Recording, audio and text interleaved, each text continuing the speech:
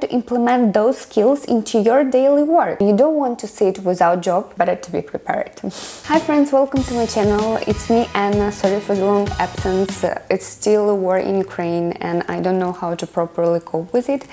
If you want to help Ukrainian, the link with the instruction will be down below. Today I want to analyze the curriculum or study plan, assess the requirements for candidates and to answer the question how to become data analyst or data scientist. So if you're interested, please don't forget to subscribe this channel and continue watching this video up to the very end. Based on my experience, the best start of diving into any professional area is to analyze the requirements of employers to have at least a broad understanding what to learn. So we can go to well-known site Glassdoor and put data analyst or data scientist in the search box to analyze the requirements. Or it's even better to put junior as you just starting your career.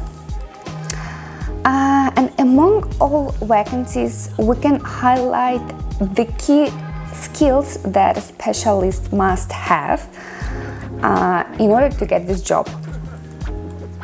So we see Python, math, experience, so the key skills that a specialist uh, like data analysts or data scientists should have are as follows. Technical competence, which means coding skills for analysis and data extraction. Sometimes it also includes data visualization skills. The next one is experience uh, of performing analysis with large data sets. Next, strong understanding of statistics and mathematics. And the last one is ML and A-B testing. But this is optional, which means not all companies requires these skills. But believe me, if you're going to become super data analyst or data scientist, you will encounter machine learning and A-B testing, maybe not in the beginning of your way, but later. Okay, now we understand the key requirements for candidates, so how to satisfy all these requirements. And here we have study plan. Having learned it before and working in this field, I realized how it's easier or better to study. So in this video, I would like to share these ideas with you. So first that you should start with is math. You should understand your level of knowing math. It's good to have at least basic understanding of mathematics and algebra, like know how to solve equations or fractions. Once you understand that you know the basic algebra well, you can move on to next topics in mathematics. I should say that mathematics is also needed to understand the scientific paper uh, if you decide to stay up to date. Personally, I won mathematical Olympiads when I was at school, so at the beginning of my way, I just repeated all this material uh, to remind myself what is uh, derivative, limits, functions, etc. Okay, next is probability. For example, you need to detect uh, which of two commercial is successful, so you need to run videos and get the results and analyze these results. Suppose 1000 users click on the first video and 1.1 thousand click on the second video. So how do you think which one is more successful and was it a coincidence or a pattern? To answer these questions, probability theory and statistics will help you. You may find good course on Coursera or Udemy platform and to learn this topic there. The main topics that you should cover uh, are probability, dependent and independent events, Bayes theory and etc. By the way, the probability theory is also crucial uh, when you're just applying to the job because believe me, you will get uh, the tasks on probability theory in your interview. Oh, and I may share with you the task that I once received on my interview on uh, probability theory. Okay, imagine one person of people gets sick and there is a test that can detect it. If this test checks sick patient, it shows that this patient is sick with a probability of 99% and with a probability of 1% it shows that he or she is healthy. When this test checks a healthy person, uh, it shows with the probability of 99% that this patient is healthy and with the probability of 1% that he or she is sick. And the question is, what is the probability that person is sick if test shows that this patient is sick? Okay, write your answers in the comments below or if you would like me to discuss these tasks also write maybe I can make the video with typical tasks on interview so please write down. Next, you should cover statistics. The field of statistics underpins every aspect of data analysis and knowing statistics means to be able to parse extensive data sets for high-level insights. So the main topics in statistics are data and sampling distribution, statistical experiments and significant testing, regression and predictions, and other.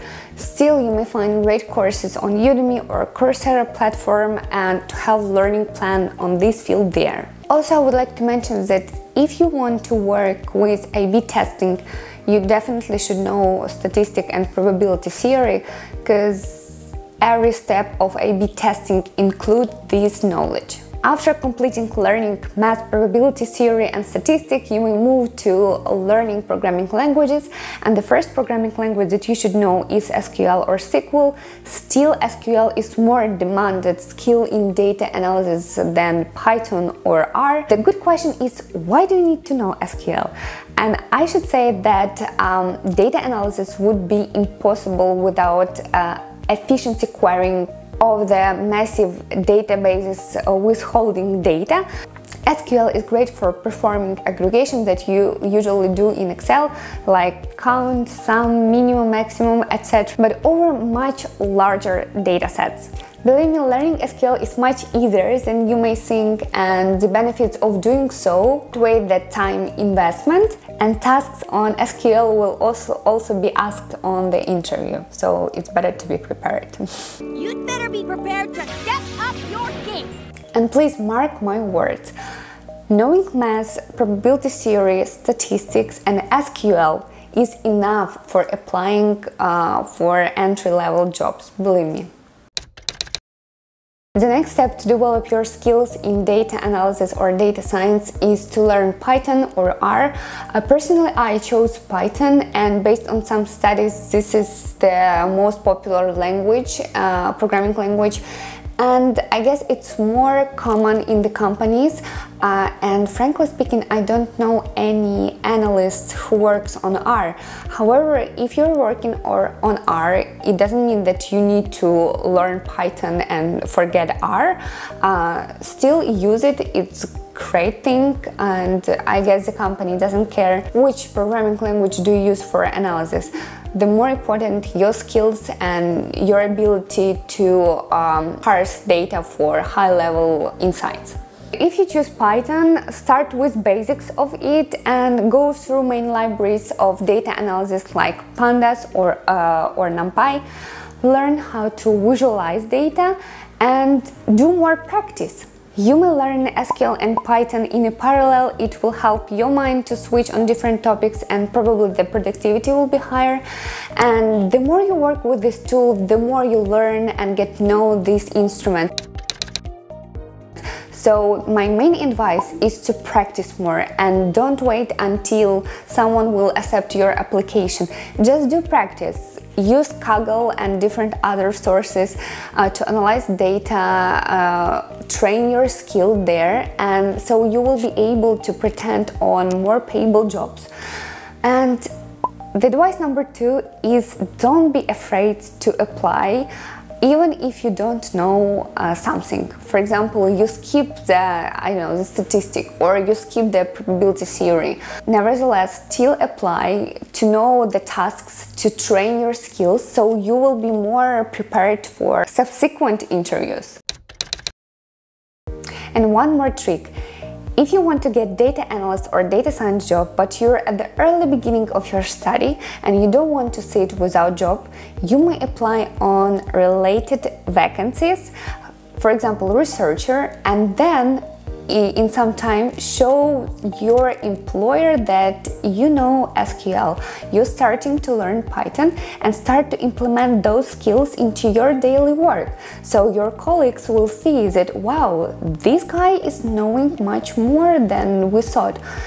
And believe me, you'll get the promotion, you'll become data analyst, are able to move from one department to another. So don't forget for such a possibility and use your chance for any job.